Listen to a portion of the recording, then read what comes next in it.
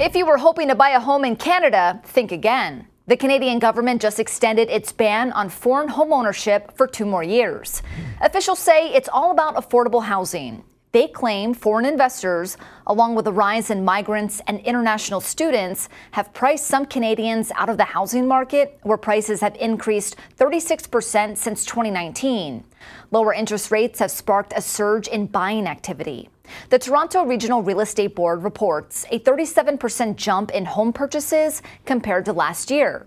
Canada's finance minister announced that the federal government is taking steps to make homeownership more accessible for Canadians, saying in part, by extending the foreign buyer ban, we will ensure houses are used as homes for Canadian families to live in and do not become a speculative financial asset class. The government claims the ban will alleviate Canada's severe housing shortage, but real estate industry critics argue it's misguided and ineffective.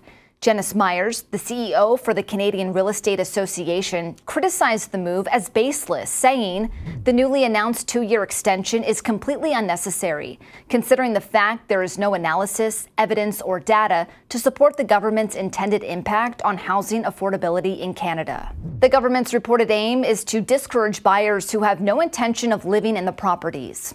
Latest data from Statistics Canada for 2020 shows that non resident investors own 7% of condominiums in British Columbia.